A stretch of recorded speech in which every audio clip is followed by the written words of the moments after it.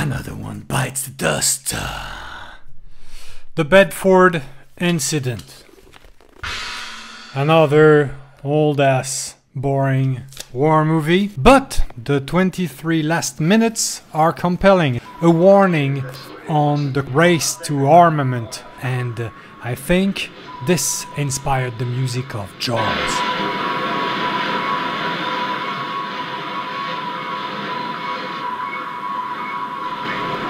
Also, I suspect this button that we see to have inspired Kubrick in 2001.